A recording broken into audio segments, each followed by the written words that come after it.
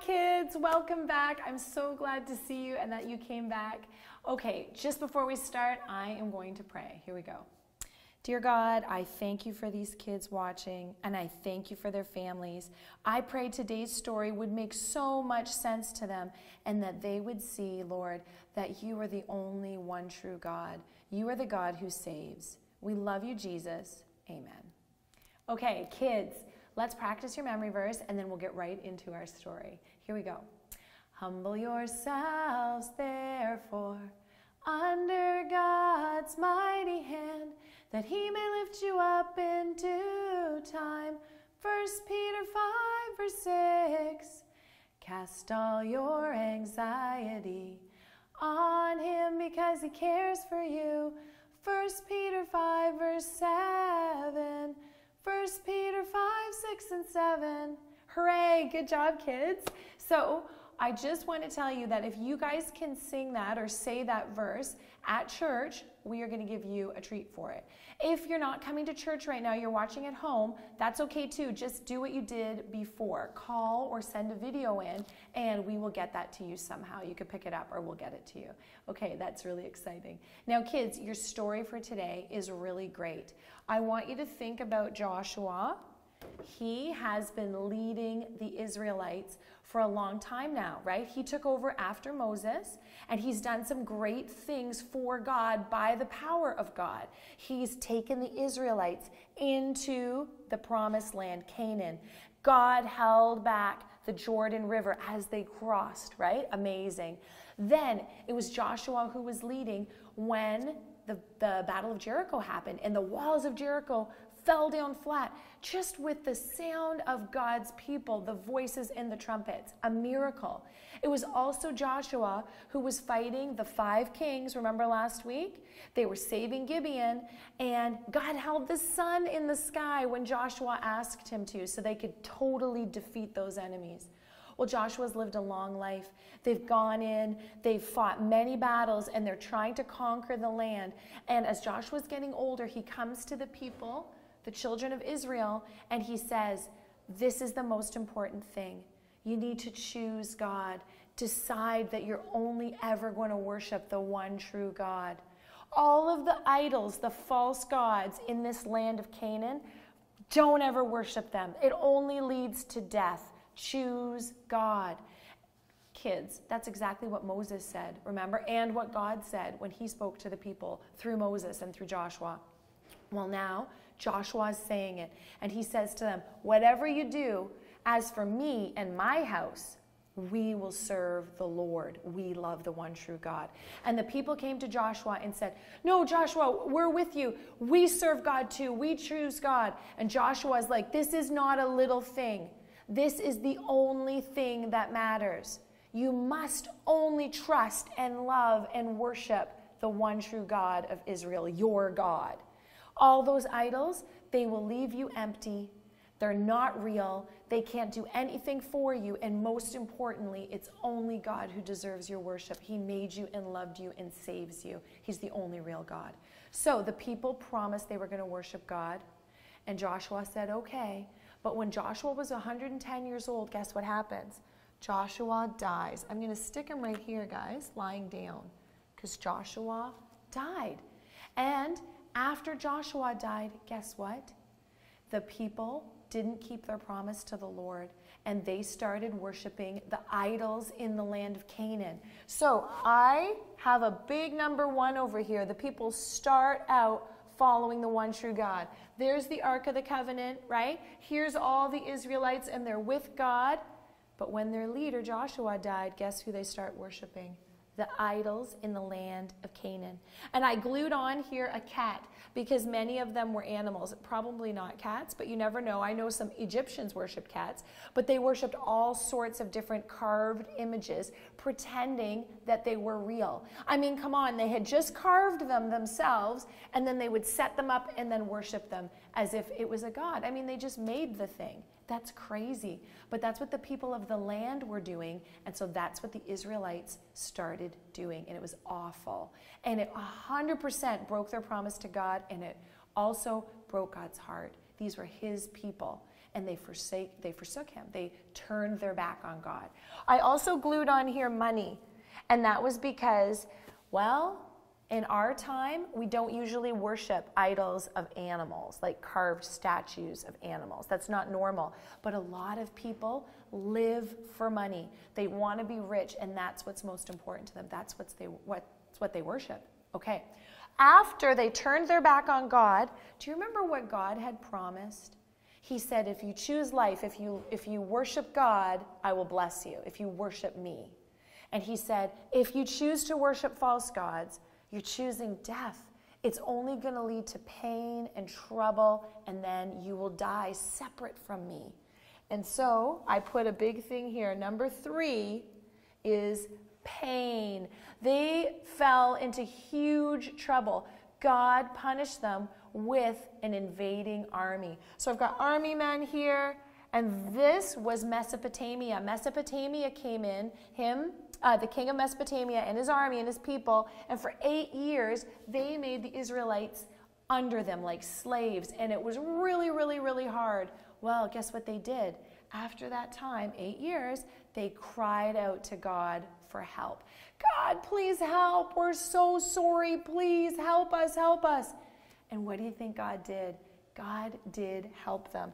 He sent to them another man to help him. And this guy's name is Othniel.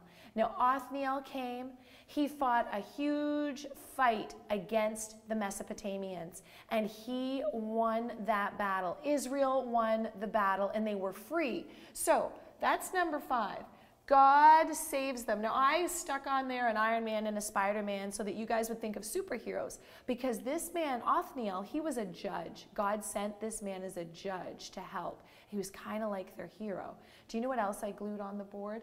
This is a little baby Jesus from my nativity scene.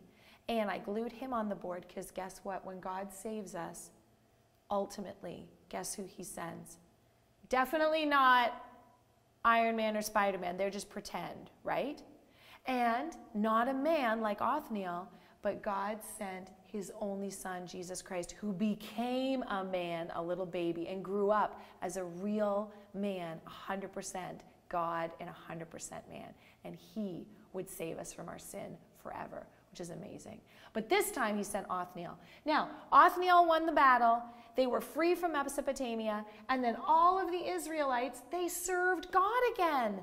And they worshiped properly and they loved God and they threw out all their false gods and their idols. They destroyed them and everything was great. For 40 years they had peace and they were right with God. But guess what? Othniel dies. Oh, so there's dead Joshua and dead Othniel. Don't fall, guys. Okay. Now, after Othniel died, guess what happens? The Israelites forget about God and they start worshiping the idols of Canaan again. Back to number two idols. Terrible, the one thing God didn't want them to do. Then, after they did that, of course, God punished them. He sent pain. This time it was Moab. And he sent Eglon, the king of Moab. So we've got the army man. The army of Moab came, and for 18 years, they were in trouble. They were like slaves, and they were in a lot of pain under the kingdom of Moab. Well, the children of Israel cry out to God, Help, we're sorry. We're, God, please help us. We need you. And God sends another judge. This time he sent him a a man named Ehud, okay, or Ehud. So Ehud comes and he is going to be their judge. He is going to save them. Now, you got to know something about Ehud. Ehud was left handed. I'm actually right handed. Ehud was left handed. And there was this thing every year the Israelites had to pay Moab money. They had to pay tribute, money to the king Eglon, King Eglon of Moab. So this year, Ehud says, I'm going to take the money. And because he was left handed, he had a plan. He strapped uh, like a sword, kind of a short sword. He strapped to his thigh, his leg. And he went with all the money and his servants, and he came to the king Eglon. Oh, King Eglon, here's your money. And after he gave it to them, he said to the king, I want to tell you a secret. And so the king sent away all of his servants, and Ehud sent away all the people who had carried the money. And they were by themselves alone in the king's room. And then Ehud said to the king, King Eglon, I have a message to you from God. Now, you guys have to know something. The king, King Eglon, was very, well, the Bible just says he was fat. He was very overweight. So his tummy was very, very large. And what Ehud did was, and this is gross, guys, he quickly grabbed the sword off his leg whoosh, and he stuck it right inside King Eglon's stomach. And it said that the sword went all the way in and that his fat belly covered up the end, the, the handle, the hilt of the sword. So Ehud didn't even pull it out. Then, after the king was dead, he went quickly and he locked the door and he got out, kind of like going out the window. He went out the other way. There was a door and he got out there and he went and he ran away. And then the servants of King Eglon were like, What's he doing? Oh, the doors are locked. Oh, maybe he's going to the bathroom. And so they waited, and all the time they waited, Ehud's like, he's running away, and he gets away safely. And then they finally get a key and they unlock the door, and their king is lying there dead, and they can't believe it. And then the Israelites, they fought back and they were freed from the Moabites, which was amazing. So Ehud now was their judge. God again had saved his people. He'd given them this judge, Ehud. And then, guess what? After that, the Israelites, they faithfully followed and worshiped God. For 80 years, there was peace in the land until Ehud died. Oh, Joshua, you're falling off. You know what I'm going to do? I'm going to stick Ehud underneath you. You can lie on him. Okay. So when Ehud died, do you guys have any guesses what happened with the Israelites? Same thing happened again. They turned their back on God and they worshiped the idols in the land of Canaan, the false gods. They were in trouble again and they cried out for help again. And would God help him? Help them? Yes, yes, they would. He would help them again. So God saved his people. And this kept going around and around and repeating over and over. And we find it all in the book of Judges, okay? And it's called, a fancy name for it is called the cycle, kind of like a bicycle tire goes around and around, right? The cycle of apostasy. And apostasy means to turn your back on God. And that's what they would do. They'd be faithful and they'd love God, but when their leader died, then they would turn their back on God and they would worship idols. And it was awful. And so, kids, I just want you to remember what Joshua said at the very beginning. I'm going to read it to you from my Bible. Joshua said to the people, But as for me and my house, we will serve the Lord. And that's what we need to do, kids. We need to choose to serve God. We need to remember that He's the only true God. He's the only one that saves. And kids, I want to ask you a question, and it might be a tricky thing to know the answer to. But why would God punish His people? Why would He send an army or another kingdom to come and give them pain and trouble? Do you know why God would do that? I mean, He warned them, He promised He would do that if they turned and worshiped idols. So He was keeping a promise. But besides that, do you know why He would do that? God didn't want the Israelites just to be happy, He wanted them to be saved. He wanted them to be holy. And he knew that if they were worshiping idols and they died, they would die separate from him and they would end up going to hell. He wanted to save them.